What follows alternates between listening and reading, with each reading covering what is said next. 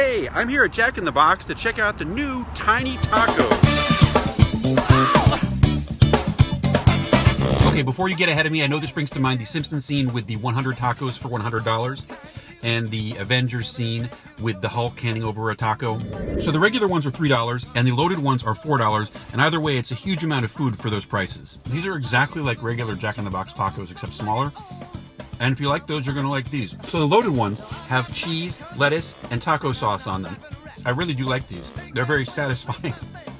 it's such a big, gross mess, but I really like the taste.